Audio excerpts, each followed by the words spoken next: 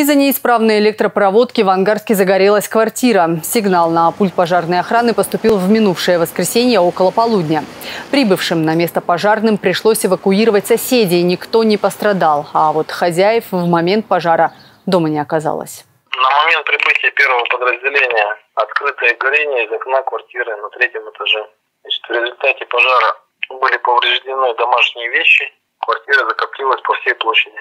Общая площадь пожара 3 квадратных метра. Тем временем Иркутская область вновь выбилась в лидеры по количеству лесных пожаров. На 14 июня в регионе было зарегистрировано 88 очагов возгорания общей площадью более 43 тысяч гектаров. Основной удар стихии приходится на северные районы. Там объявлен режим чрезвычайной ситуации.